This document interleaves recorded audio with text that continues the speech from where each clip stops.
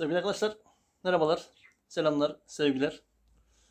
Ben İnegöl'den Özgür kardeşiniz.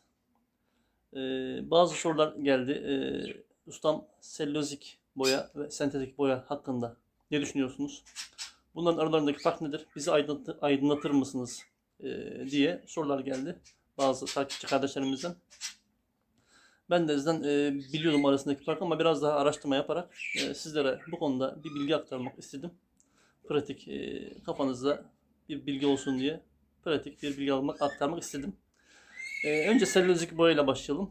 İki tür boya türü var. Yani yağlı boyaların içinde iki tür boya türü var. Selülozik boyalar ve sentetik boyalar. Bir de normal evlerimizi boyadığımız plastik boyalar var. E, silikonlu boyalar var. O ayrı bir konu. Onu da ayrıca anlatırız. Sentetik ve selülozik konusu sizlerin kafasını bir aile karıştırıyor. Eskiden benim de kafamı çok karıştırıyordu. Sonra yapa yapa ve araştıra araştıra ikisinin arasındaki kelime farklarını ve ikisinin e, işlevsel farklarını öğrenmiş olduk.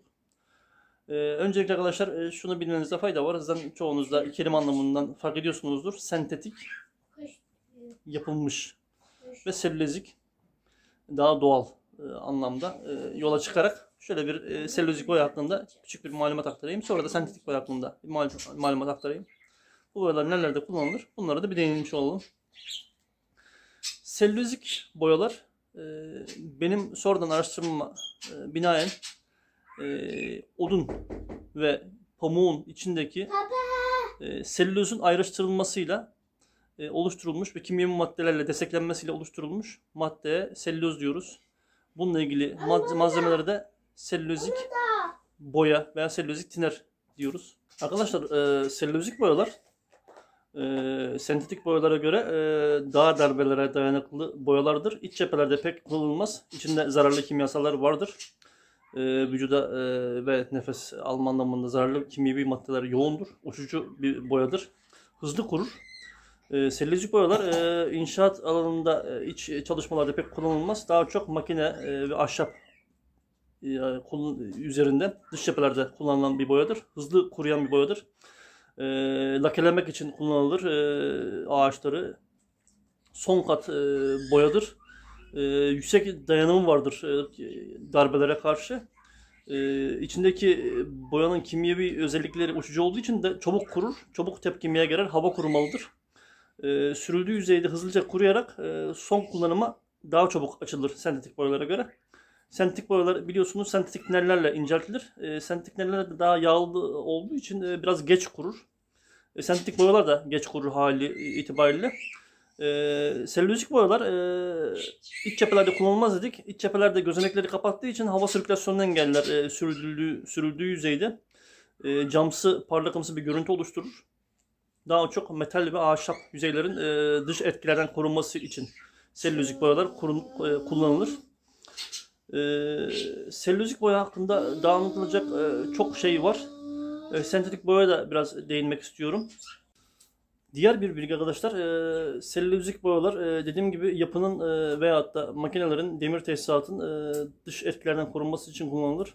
Bunu kullanma anlamında, selülozik boyaları kullanma anlamında e, yüzeyde öncesinde iyi yapışması için e, astar uygulaması çok önemlidir.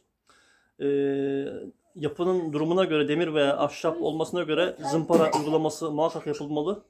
E, zeminde yapışma engelleyici e, küf oluşumu veyahut da ağaç yüzeylerde e, pürüz oluşumu giderilmeli. E, ve sonrasında e, selülozik bir astar veyahut da selülozik boya uygun bir astar uygulanması gerekir. E, zımpara uygulamasından sonra muhakkak yüzeyin zımparadan oluşan tozların fırça yardımıyla veyahut da bir e, hava üfleme makinesiyle giderilmesi gerekir. E, ve e, astar, astara mütakip e, selülozik boya uygulaması yapılır. Bir sorumuz da şu oluyordu. Özgür Ustam, e, selülozik boyaların üzerine sentetik boya uygulanabilir mi? Sentetik boya arkadaşlar selülozik boyanın üzerine uygulanır rahatçana. Sentetik boyalar pek çok yüzeye yapışır. Ama selülozik boyalar e, biraz daha inş, e, zor bir boya.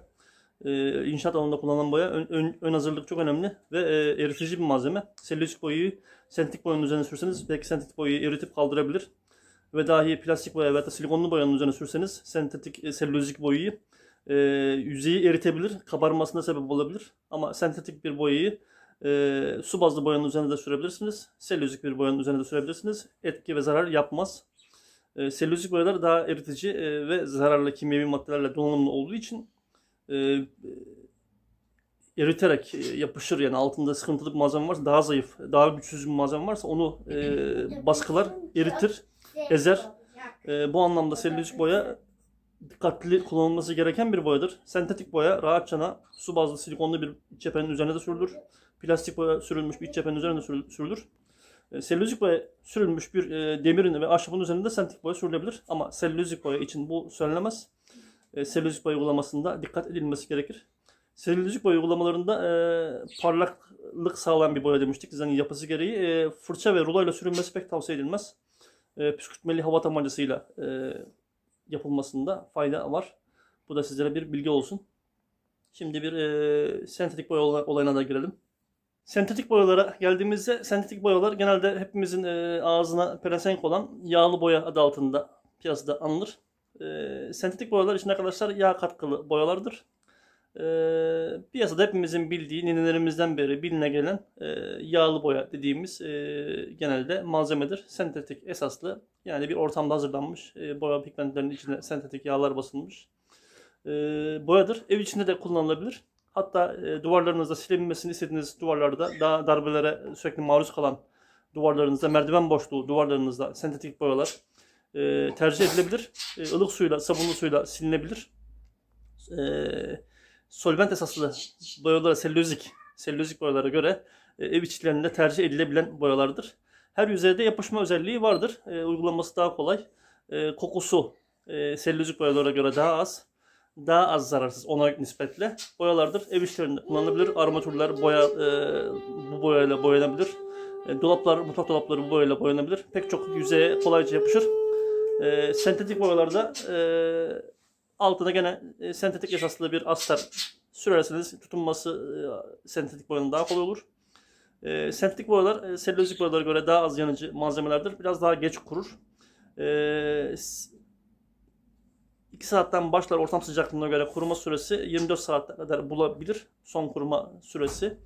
E, dokunma süresi anlamında e, e, işleve başlayabilmesi için ev işleriniz özellikle 8 ila e, 24 saat çok önemli.